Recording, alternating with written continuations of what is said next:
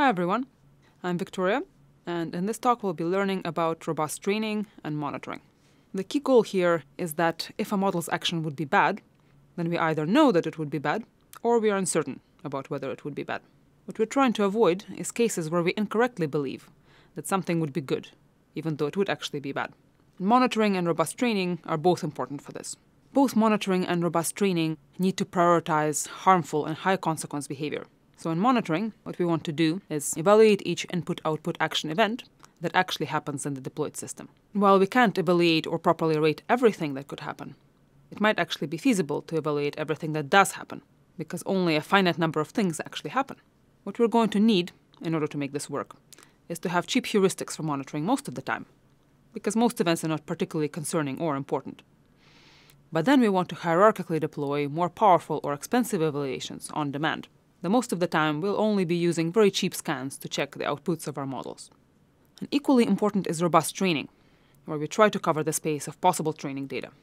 Of course, we cannot cover all the possible training data, so we need to prioritize here. We want to prioritize data that's likely to be informative for model training, and also prioritize cases that are likely to cause dangerous failures.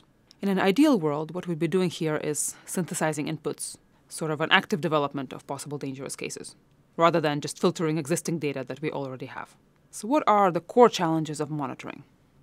We have a space of all these possible outputs, which we can divide on two axes. One is whether the consequences of the output or action are obvious, or whether they're obscure. The other is whether the consequences of the action are important or negligible. We want to prioritize our effort in monitoring and evaluating the behavior of the agents. On things whose consequences are obscure, so we can't just immediately tell how bad it is, but also important, we don't need to waste effort on things that just aren't going to matter. So this is trying to get to the point where we're able to prioritize effort and focus on monitoring the most valuable cases. An important caveat to mention here is that all of this assumes that in principle, if we were to provide unbounded effort, or as much effort as we're practically able to achieve, we would be able to identify this harmful behavior. And it's not at all obvious that it's going to be possible, and this is what we depend on amplified oversight to provide, which is covered in a different talk. But given that we can do that, we don't want to waste effort on unimportant decisions or obvious consequences. And this draws on research in uncertainty, anomaly detection, making decisions hierarchically in an online setting, and also adaptive compute, where we're trying to deploy the right amount of effort in the right setting, possibly based on intermediate steps. Robust training, on the other hand, has a different flavor of prioritization required, because the space is much, much larger. It's not just the space of all things that happened the space of all the things that could happen.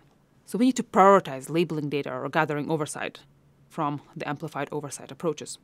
We focus on labeling data that's likely informative, that would likely affect the model training, and that corresponds to dangerous and important failures. So we're imagining this giant space that contains some dangerous inputs or outputs likely to lead to dangerous things. Some inputs that are likely to produce informative events that would be valuable for training and we're trying to prioritize the intersection of those. Ideally, we don't just filter data that has already been produced, but generate targeted inputs.